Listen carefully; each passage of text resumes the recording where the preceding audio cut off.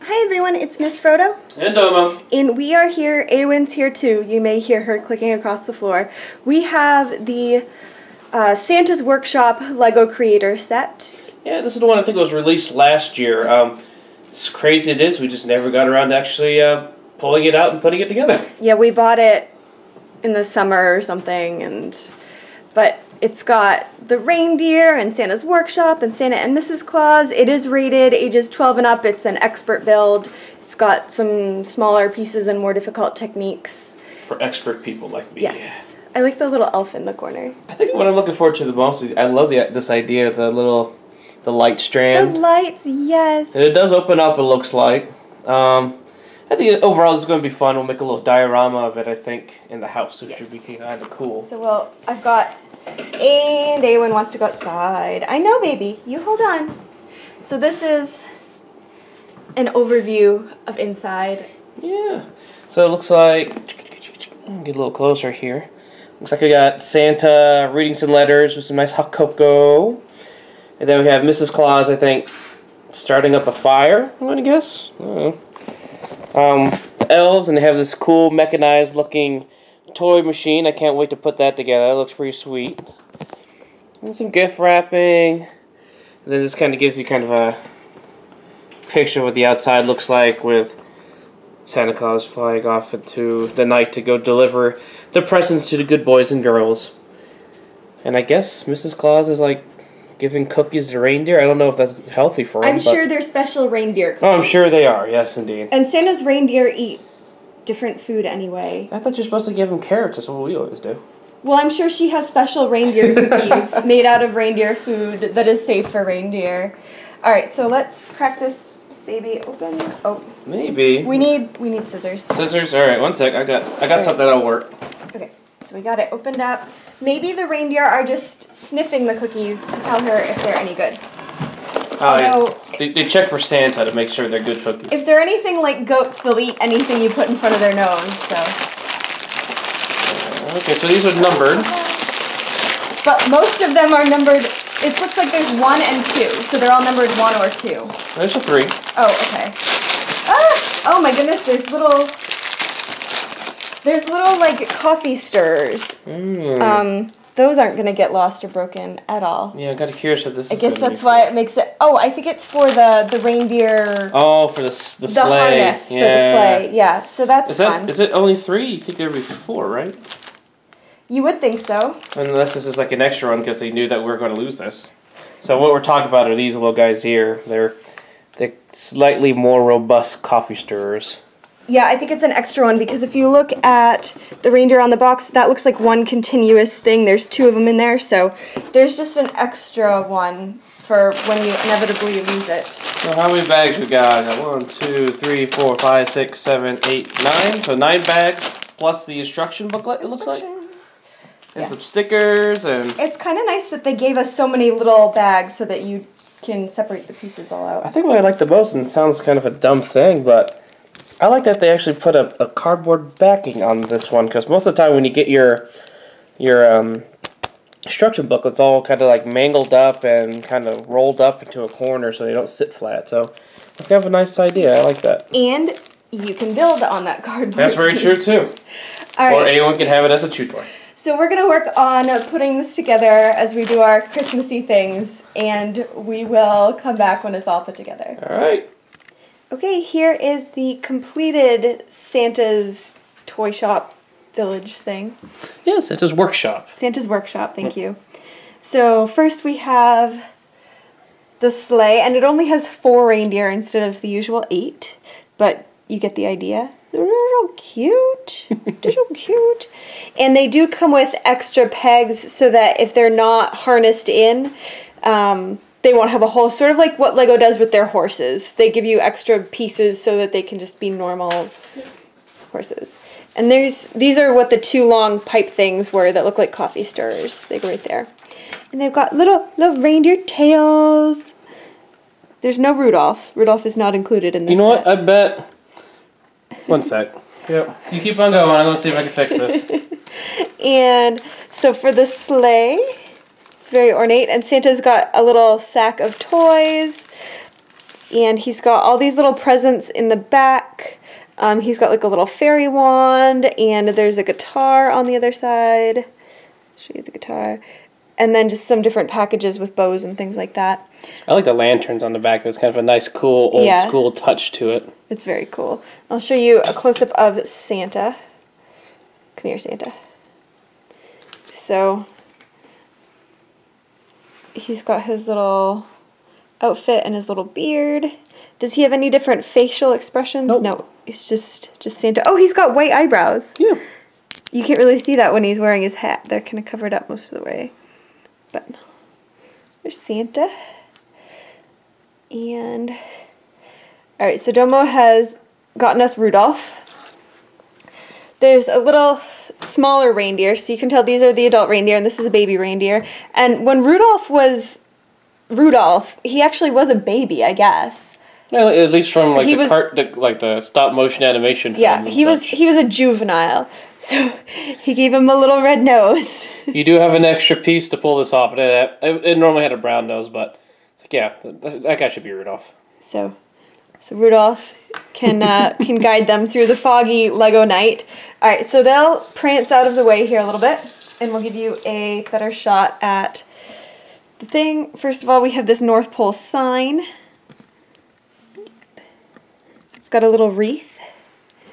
I like the little star pieces. It almost feels like that's something you'd get from like um, one of the Friends sets, to be honest. Yeah, But- it does. And on the back, it's the you know red and white striped like. That's what the North Pole is partic- is usually portrayed as. Is literally just a red and white pole sticking out of the ground. Right. Um, and then we have a Christmas tree over here. And it's got that star again with like a yellow piece so it's glowing more. And then the little clear pieces as ornaments.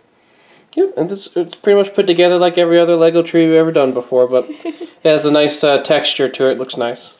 When I was little, we had Lego trees that were just like trees and bushes. I don't know how to describe it. I'll have to show you some on my channel sometime.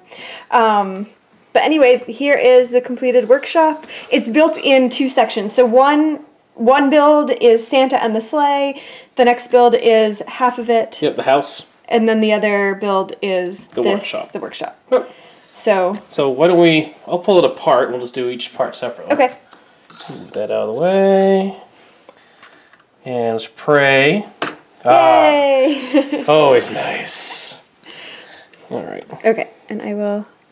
Right, focus. Okay, so couple cool things here. You've got well these two little pillars going up the steps, the little bricks, the candy canes outside. Oh, there's a key in here. It's a key. Yep. oh my gosh, that's too cool. Does it actually work? No, but it's a key. But There's a key. But it works really good as a handle to kind of open and close that thing. Yes. I'm trying to get it back in.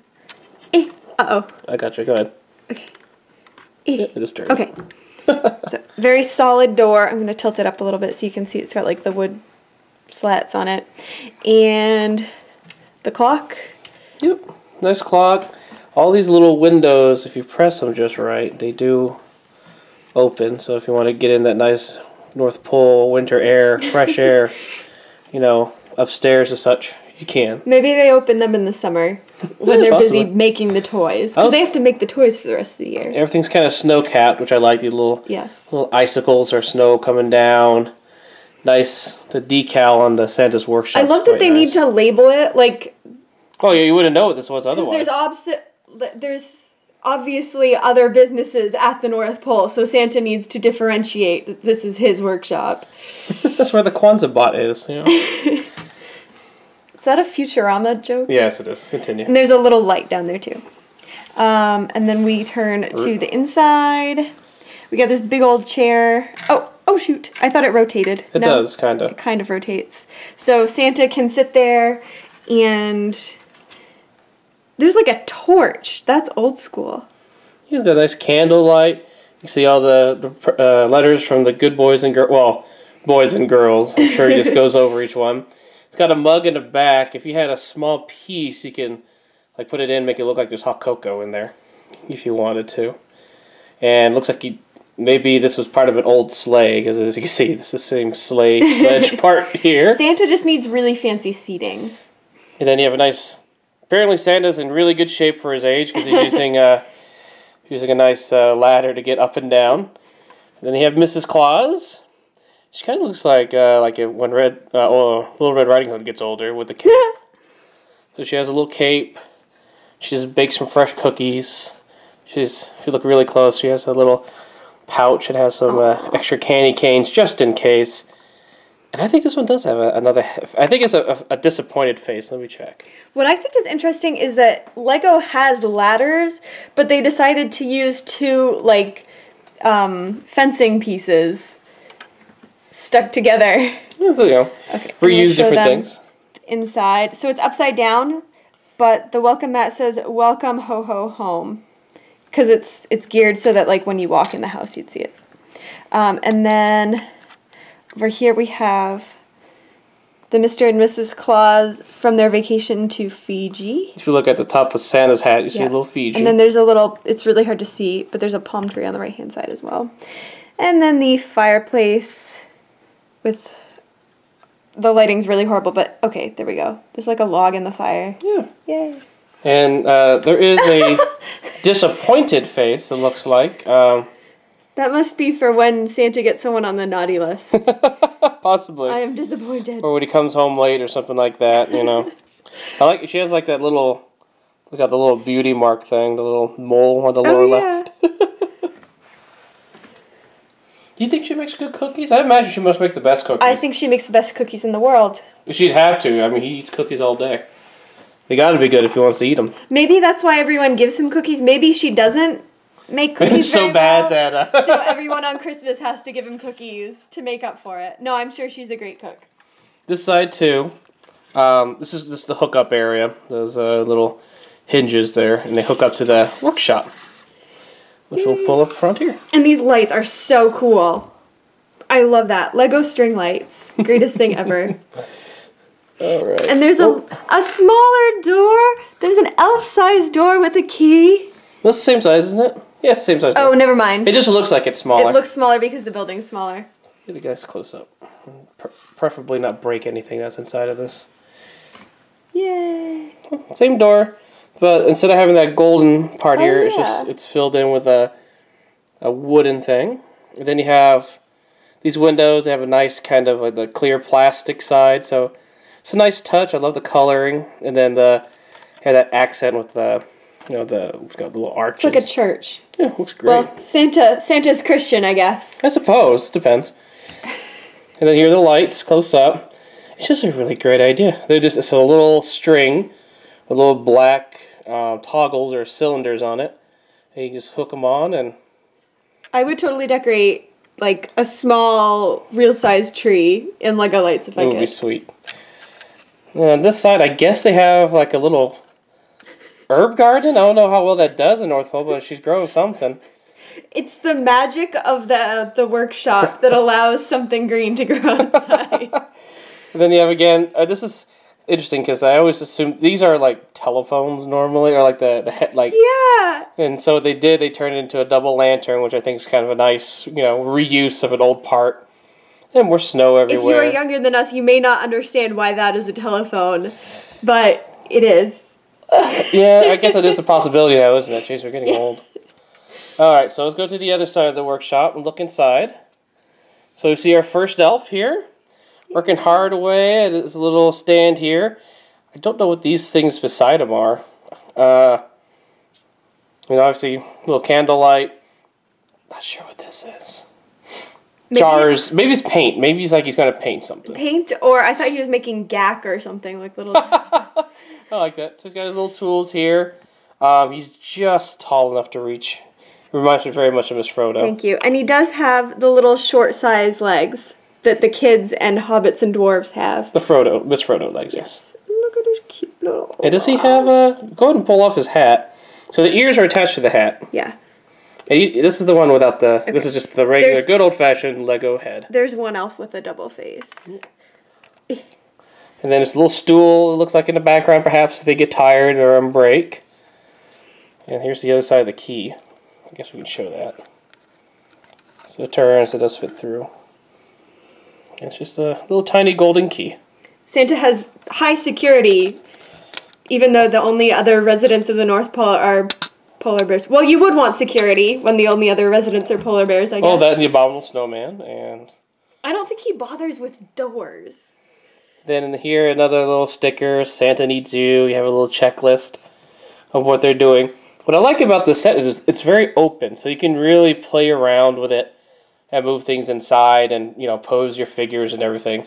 Sometimes these like really expert sets, they're beautiful, they're really immaculate, but you can't move anything inside of them. I mean, I don't.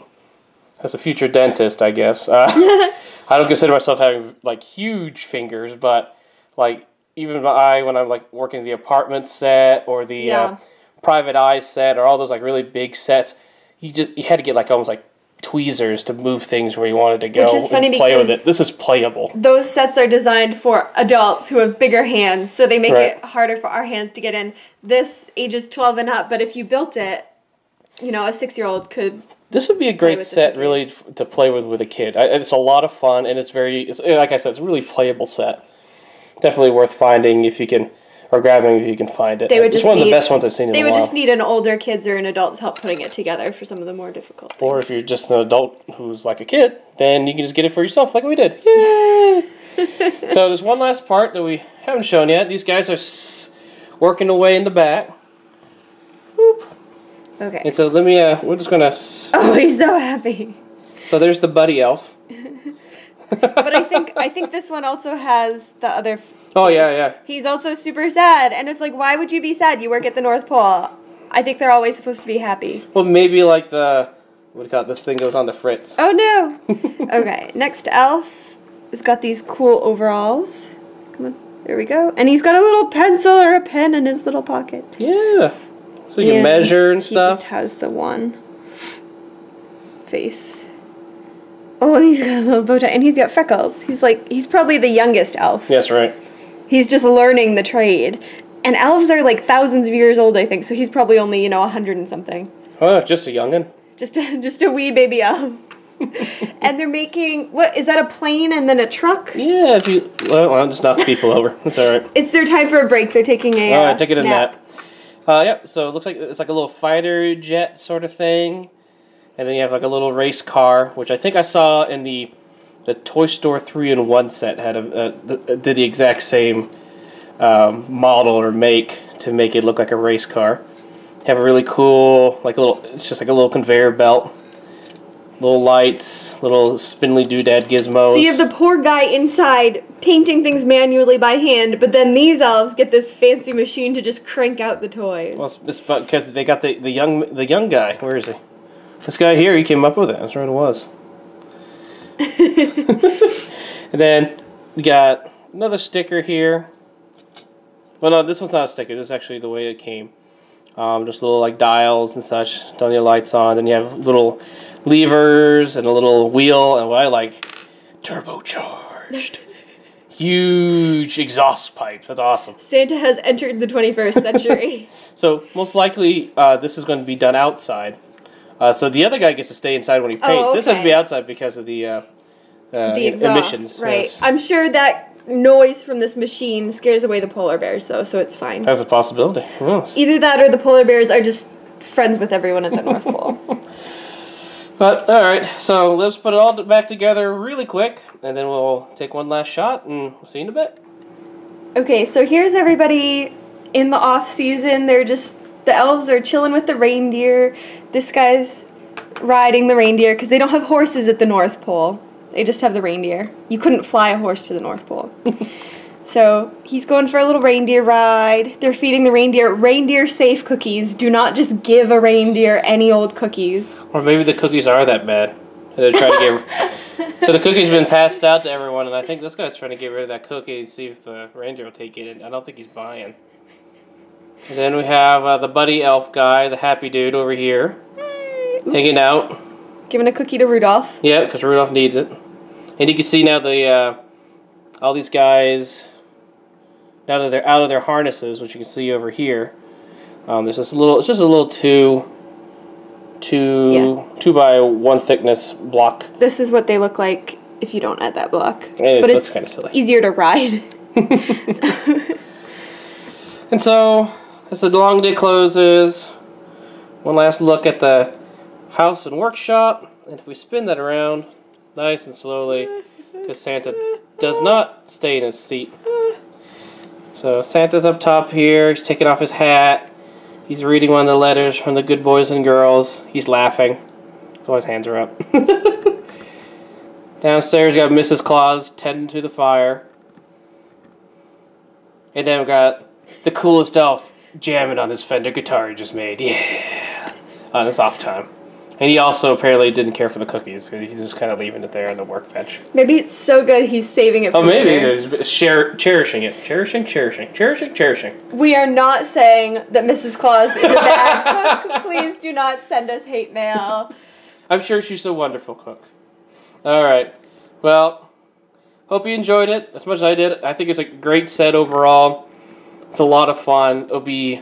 I'm hoping we'll be able to set it up. Maybe get like some white tablecloth or something to kind of make like a little diorama for it. And it's look so much cooler to display than those little houses, the little ceramic ones that don't do anything. Right. Look at all this house does. yeah, So much. much less breakable. It may break, but you can put it back together. And we have a really old train downstairs that we might be able to turn into the Polar Express if we really, really got creative with it. But that's what Lego is all about, getting creative. That's right. All right, we will see you next time, guys.